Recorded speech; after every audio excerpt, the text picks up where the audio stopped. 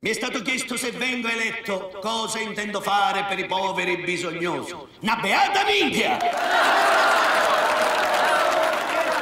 Con le parole io avrei finito. Ora facciamo parlare i fatti, va? Facciamo parlare i fatti, i fatti. Votate Cettola qualunque, la politica che scende tra la gente. Votate Cettola qualunque. Non costano niente, è tutto offerto da Cettola qualunque.